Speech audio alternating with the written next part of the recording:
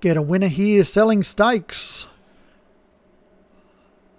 One mile, one furlong. It's a handicap It's 0 to 73 year olds and over. On the dirt, out flank up the top for Daniel French is the 3 to 1 favourite. Telescopic, Conferius, Longford, Modern Day Icon, Al Baggy, Treasure Damsel, Sheer Moss, Hidden Benefit, That'll Image, Tegiano, Mohawk Fleet, Regal Command, Two Smashing, Yabba Dabba Doo, and Galore, number 16 for Ryan Costello.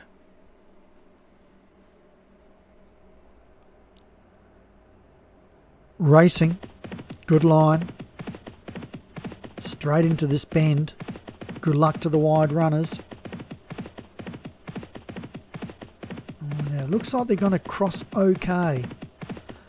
So, uh, modern day icon leads from Yabba Dabba Doo, uh, telescopic, then we've got Long Fort. Probably the widest one there is two smashing, but you know, I suppose it's reasonable. Uh, then we've got Outflank Galore, Hidden Benefit, Treasure Damsel, Sheer Moss, Mohawk Fleet, Two Smashing, That'll Image, Regal Command, Tegiano, Conferius, and uh, Al Baggy. They roll down to the five furlong marker and modern day icon leads from Yabba Dabba Doo on the outside of telescopic. Then moving up three wide in the blue is outflank. Then we've got Galore and Mohawk Fleet, Long Fort, Sheer Moss, Treasure Damsel. Uh, two smashing that'll image regal command uh, hidden benefit tegiano al baggy and conferius at the three furlong pole and modern day icon leads from outflank. Galore's up there. Mohawk Fleet, Yabba Dabba Doo, Telescopic. Then a break to Longfort. That'll image hidden benefit. They roll around, come on down into the home stretch. One and a half furlongs to go, and modern day icon leads a long neck to outflank. They've got a fair break on Mohawk Fleet. Nothing else can win. Outflank takes a lead.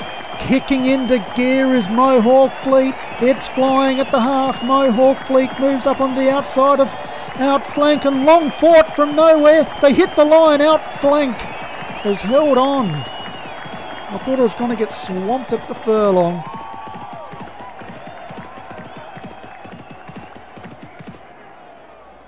And that's a strong win, the favourite. It's carried the top weight. And rightly so. Daniel French, congratulations. Another winner. Without flanks. Second, Mohawk Fleet, John Seaford, who also had Long Fort. And both those horses, I thought at one stage, were the winners. Fourth was Modern Day Icon for Obi Wan, and fifth Conferius for Nick Driver, and that's come from a long way back. I remember calling that back near the tail of the field a couple of times.